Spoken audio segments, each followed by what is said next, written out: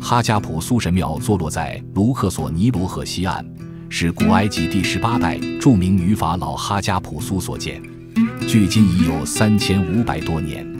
神庙的山崖后面就是国王谷，哈加普苏的坟墓 KV 二十也就在这山崖的后面。哈加普苏几乎是第一位葬在国王谷的法老。哈加普苏神庙与河东岸的卡拉卡神庙遥相呼应，两个中轴线相连为一条直线。在哈加普苏神庙边上还有两座神庙，一座是法老门土侯太普二世，建于公元前二十一世纪。这座神庙比哈加普苏神庙要早五百年。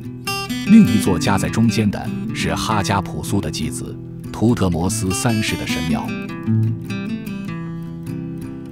哈加普苏的时代是古埃及和平和繁荣的黄金时代，因此哈加普苏不仅建造了这座气势宏伟的神庙，还有阿斯旺的未完成的方尖碑、卡拉卡神庙中最高的方尖碑，以及卡拉卡神庙中他的礼拜堂。哈加普苏上位法老是因为法老丈夫图特摩斯二世早年死亡，而法老继承者图特摩斯三十年幼，哈加普苏代理朝政，成为女法老。哈加普苏神庙历经几轮发掘，现存纽约大都会博物馆众多的哈加普苏雕像，就是博物馆在一九一一年到一九三六年资助神庙的发掘而获取的。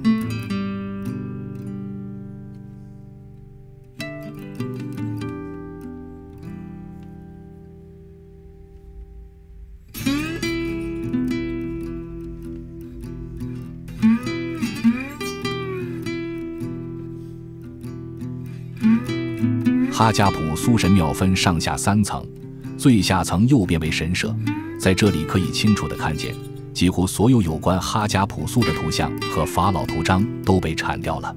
这是因为成年之后的法老图特摩斯三世想抹去女法老的光环。右边为女法老出巡带回的国外植物，以及女法老的圣餐食物。第二层中间的石柱。原本每根都有哈加普苏的木乃伊雕像。第三层最神圣的地方，古埃及最重要的神阿木神社。